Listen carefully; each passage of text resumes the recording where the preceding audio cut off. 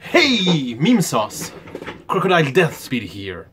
Today's subject will be about hair bleaching products.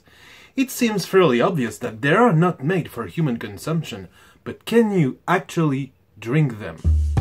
Well, the answer is, of course not. The fuck's wrong with you?